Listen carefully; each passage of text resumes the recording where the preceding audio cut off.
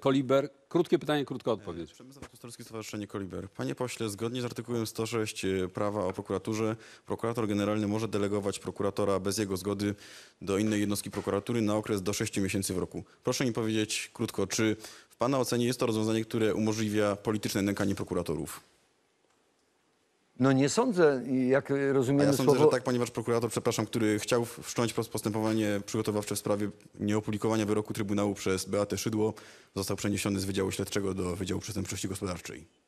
Mogę spytać w tej sprawie, czy to dla niego było jakimś nieszczęściem i co to... Ja rozumiem słowo nękanie jako ustawiczne, ciągłe gnębienie kogoś w różny sposób. To może przyjmować różną formę, różną postać, ale przeniesienie służbowe na inny odcinek, czy można na tej podstawie podejrzenie takowe może się narodzić, ale publiczne w telewizji stwierdzenie, y, no jest to daleko już posunięte. Y, Rozumiem, szanuję, Być może taka sytuacja może mieć miejsce.